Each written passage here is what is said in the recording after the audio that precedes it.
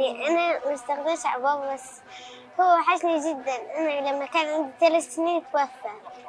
ربي يرحمه ويخلي آه، روضك من رياض الجنة. حرم بيت الله يعني حاجة حلوة.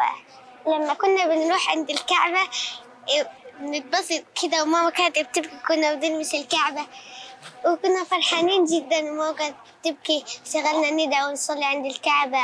هو إحنا جينا المرة دي الثانية المرة الأولى عملنا عمرة وبعدين روحنا بلدنا.